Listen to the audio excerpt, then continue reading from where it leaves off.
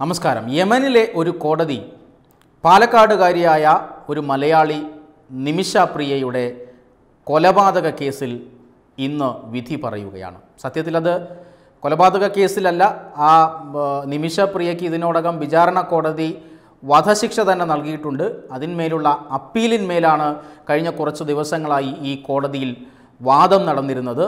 ഇന്ന് അത് സംബന്ധിക്കുന്ന വിധിയുണ്ടാകും എന്നാണ് പ്രതീക്ഷിക്കുന്നത്. ഇന്ന് ഏതാണ്ട് ഇന്ത്യൻ സമയം ഉച്ചയ്ക്ക് ഒന്നരയോടുകൂടി യമനിലെ കോടതി ഈ അപ്പീലിന്മേൽ വിധി പറയും എന്നാണ് പ്രതീക്ഷിക്കുന്നത്. പാലക്കാട് കൊല്ലങ്കോട് സ്വദേശിയായ നിമിഷപ്രിയ വർഷങ്ങളായി യമനിൽ നേഴ്സായി ജോലി ചെയ്തു വരികയായിരുന്നു. സ്വന്തമായി ഒരു ക്ലിനിക്ക് തുടങ്ങാൻ സഹായിക്കാം എന്ന വ്യാജേന എന്ന വാഗ്ദാനവുമായി ഒരു യമൻ പൗരൻ തലാൽ അബ്ദു മഹദി എന്ന ഒരു യമൻ പൗരൻ നിമിഷപ്രിയയുമായി സൗഹൃദത്തിലാവുകയും ഇവർ തമ്മിൽ സ്വന്തമായി ഒരു ക്ലിനിക്ക് തുടങ്ങാനായി പദ്ധതിയിടുകയും ചെയ്തിരുന്നു. അതിനിടയിൽ ഈ സൗഹൃദം ദുരുപയോഗം ചെയ്തുകൊണ്ട് ഈ യമൻ പൗരൻ ഇവരുടെ പാസ്പോർട്ട് പിടിച്ചെടുക്കുകയും അവരെ ഭാര്യയാക്കാനായി നിർബന്ധിക്കുകയും എല്ലാം ചെയ്തു.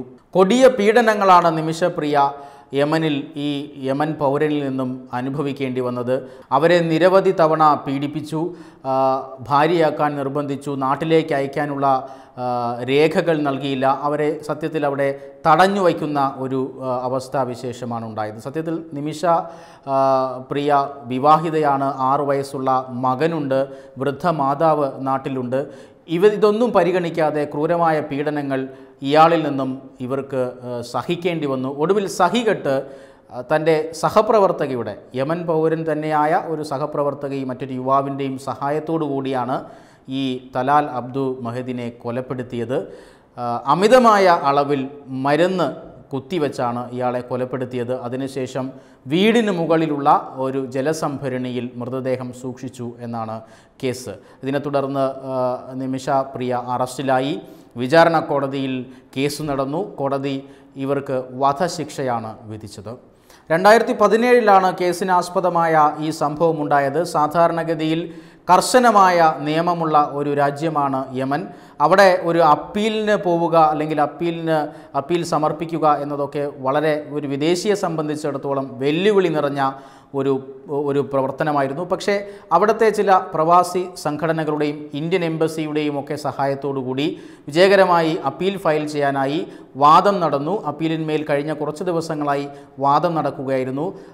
വിവാഹിതയാണ് പ്രതി വിവാഹിതയാണ് വൃദ്ധ മാതാവുണ്ട് ആറ് വയസ്സുള്ള മകൻ നാട്ടിലുണ്ട്. ഇതെല്ലാം കോടതിയെ ബോധ്യപ്പെടുത്താൻ കഴിഞ്ഞു. അതിനുമപ്പുറം ആത്മരക്ഷാർത്ഥമാണ് നിമിഷപ്രിയ യമൻ പൗരനെ കൊലപ്പെടുത്തിയത് എന്ന വാദവും ഉന്നയിച്ചിട്ടുണ്ട്. പക്ഷേ കോടതി ഇത് അംഗീകരിക്കുമോ എന്നറിയില്ല. അതിനായി ഇന്ന് കൂടി കാത്തിരിക്കണം. ഫെബ്രുവരി ഇരുപത്തി ഒന്നിന് വിധി പറയാനാണ് ആദ്യം തീരുമാനിച്ചത്. വീണ്ടും അത് മാറ്റി ഫെബ്രുവരി ഇരുപത്തി എട്ടിലേക്ക് ആക്കുകയായിരുന്നു കഴിഞ്ഞ ദിവസം ഇരുപത്തി ഒന്നിന് കോടതി കേസ് വീണ്ടും പരിഗണിച്ചപ്പോൾ നാടകീയമായ സംഭവങ്ങളാണ് കോടതിയുടെ പരിസരത്തുണ്ടായത്. കാരണം ഈ യമൻ പൗരന്റെ ബന്ധുക്കളും നാട്ടുകാരും സുഹൃത്തുക്കളുമെല്ലാം കോടതി പരിസരത്ത് തടിച്ചുകൂടുകയും വധശിക്ഷ ശരിവയ്ക്കണമെന്നാവശ്യപ്പെട്ടുകൊണ്ട് പ്രതിഷേധം നടത്തുകയും ഒക്കെ ചെയ്തിരുന്നു. വലിയ രീതിയിലുള്ള സമ്മർദ്ദം കോടതിയുടെ മേൽ ഉണ്ടായി ആ സമയത്ത്. എന്തായാലും വിധിക്കായി വളരെയധികം പ്രതീക്ഷയോടുകൂടി നിമിഷാപ്രിയയും അതുപോലെ തന്നെ അവർക്കായി പ്രവർത്തിച്ച സംഘടനകളും അഭിഭാഷകരും എല്ലാം കാത്തിരിക്കുകയാണ്.